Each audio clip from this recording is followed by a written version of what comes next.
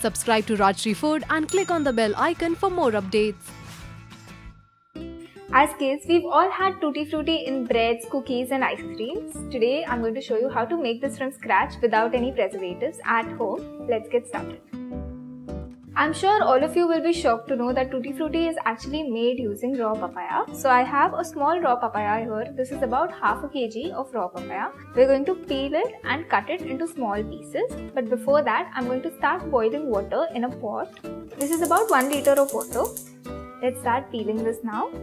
So when you're buying your raw papaya, make sure that it is completely green from outside so that inside also you have a nice white surface. Switch over to a smaller knife to peel the papaya in case your peeler doesn't reach the inner ridges.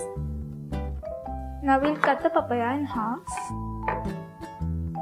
and then in quarters and then peel half this again.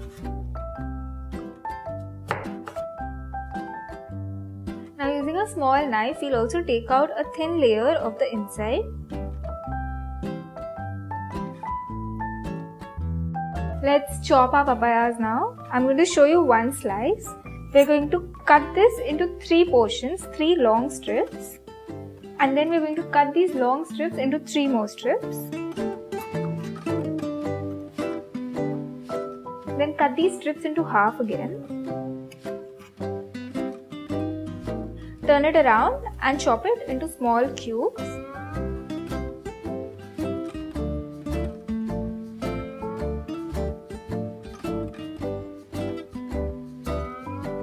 Our water has started to boil and our papayas are also chopped. Let's add it to our pot now.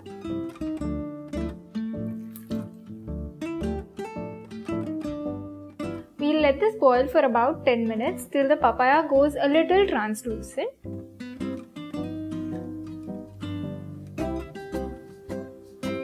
So the papaya has been boiling for around 10 minutes. It has gone translucent now. I'm going to switch off the flame and drain out all the excess water.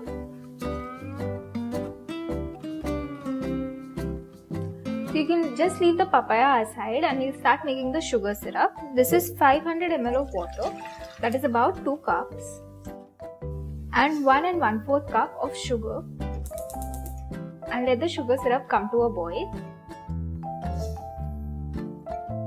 The sugar syrup has been boiling for 1 minute. Now we're going to add the drained papayas into the sugar syrup.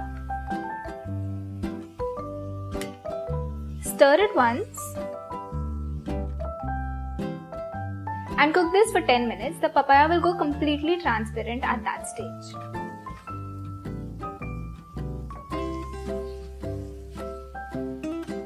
So the papaya has been boiling in sugar syrup for around 10 minutes. I'm going to switch off the flame.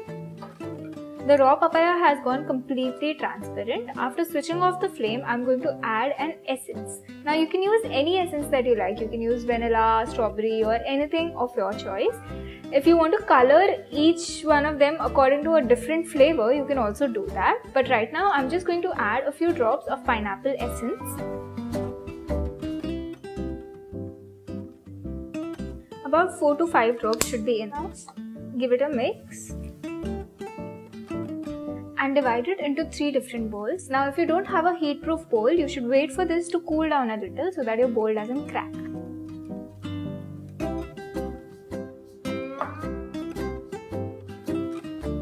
Now you can use any kind of colors that you like red, pink, green, yellow, whatever is your choice. I'm using orange and yellow and the third bowl I'm just going to leave it plain so that you have a nice contrast of orange, yellow and white.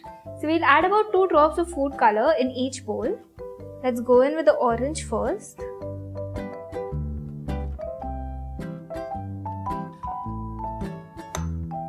Now let's add yellow.